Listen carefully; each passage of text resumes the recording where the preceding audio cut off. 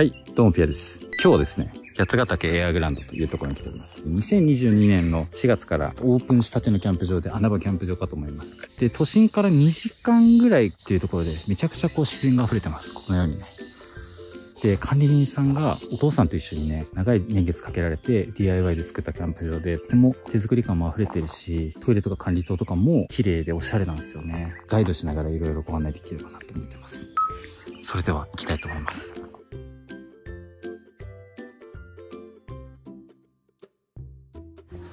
これコテージとかじゃないみたいな、緊急避難小屋みたいな感じみたいですね、こちらは。で、奥に見えるのが管理棟で、で、こっちからね、サイト始まってるんで、2つあるんでね、そっちからちょっとご紹介していきます。ざっくりこう、ぐるーっと、半時計回りに見ていきたいなと思っております。はい。ここが14番。14番サイト。こちらがこちらのスペースと、こっちのスペース。で、ここはバーベキューしたりとかできるみたいですね。あ、日陰でここはね、すごい涼しいんじゃないかなと思います。広さもね、どんぐらいだろう。8メートル、10メートル。全部で100平米ぐらい、100平米以上あると思います。すべてのサイトが100平米以上ありますし。ここ一番人気のサイトみたいですね。広さがすごい広いですよ。12メートル、12メートルぐらい。ありますね。で、この景色。で、星もね、夜は綺麗みたいなんですよ。で、ここがなぜ一番人気かというと、あっちにサイトがいっぱいあるんですよ。ここだけ割と独立している感があって、あとね、離れている感じもあるんですよ。で地面がこのように水はけのいい、あの、ちっちゃい、こう、細かい砂利みたいになってるんですけど、なんで雨が降っても、えー、テントが汚れづらいんじゃないかなと思います。とても綺麗。このまた白が映えますよね。白と緑と青、映えます。管理棟では、薪と氷と、なんだかな。それぐらいしか売ってないんですけど、これ全部手作り。手作りですすごい。このキャンプ場トイレ2つあって、どっちも綺麗なんですけど、こっちにトイレがあるんで、トイレをちょっと見てみたいと思います。今日はね、お客さん今いらっしゃらないんでね、全部見てくださいということでした。シレット付きで、この綺麗さ。女さんご自身もね、キャンプをされるみたいで、ここ来ていただければわかるんですけど、風がないんですよ。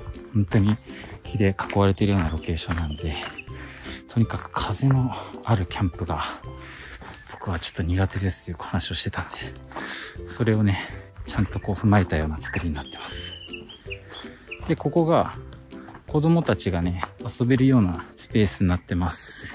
ブランコ。これも全部手作りですよ。こんな感じ。こういうのがこういう感じで遊べていいですね。こんな感じ。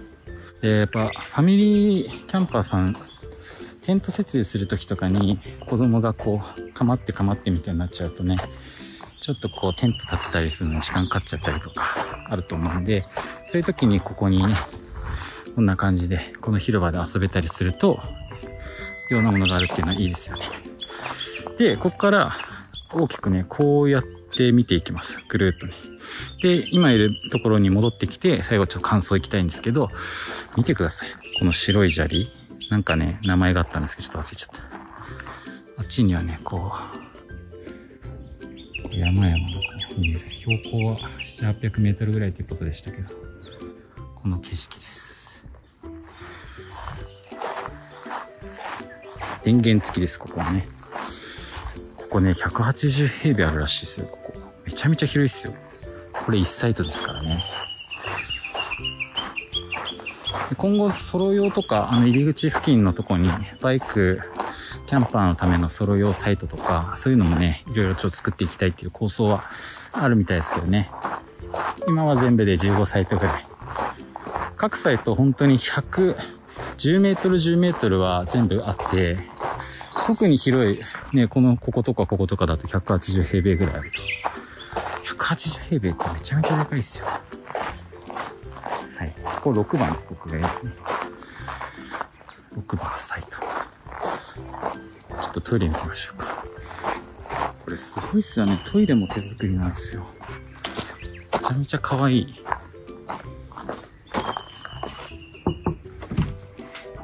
こんな感じで。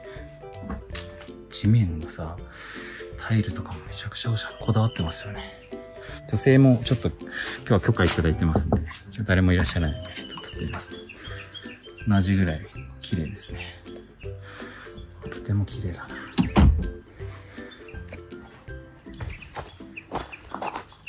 この炊事場もいいですね。綺麗ですね。これも手作りみたいですよ。なんかね、コンクリートとか流し込んで、そこにこう、木を立ててみたいな感じでさっきね、教えてもらったんですけど、ちょっと僕には難しすぎてわからなかったんですけどね。ここもめちゃめちゃ広い。18ぐらい、18、10メートルぐらいあるんじゃないですかね。9番にいます、僕はね。はい、広いね。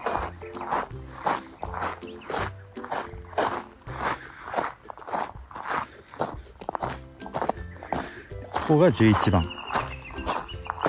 ちょっとこのサイトとサイトの間に、あの、こうやって少しこう、区切られてる感があるから、あとそこは少し段になってたりとか、まあ、そうやって少しこうなんでしょう。ちゃんとこう、オーナーさんがもともとキャンプやられる方っていうのもあって、あの、プライベート感を考慮されたような作りになってますよね。サイト設計が。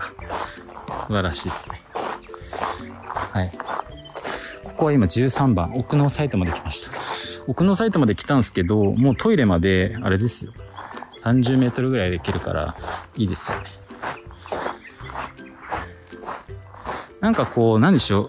空が開けてるのが気持ちいいです。開放感があって。今12番にいます。12番も広いですね。